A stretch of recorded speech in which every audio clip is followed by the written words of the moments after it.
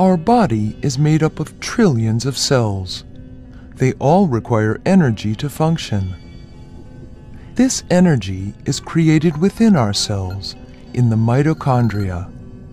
Here, food is converted into chemical energy called ATP. ATP is released by the mitochondria so cells can use it. Mitochondria consist of two membranes, an outer membrane, separating it from the cytosol, and an inner membrane, surrounding the so-called matrix. The area between these membranes is called the intermembrane space.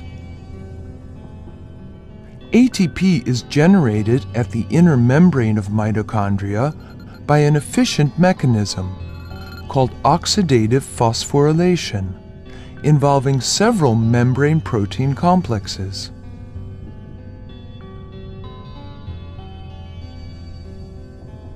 Nutrients provide high energy electrons in the form of NADH, which are used by the protein complexes to pump protons from the matrix to the intermembrane space.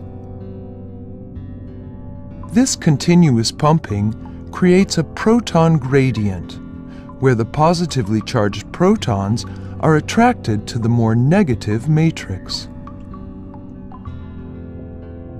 When the protons re-enter the matrix through the ATP synthase protein complex, they catalyze the production of ATP.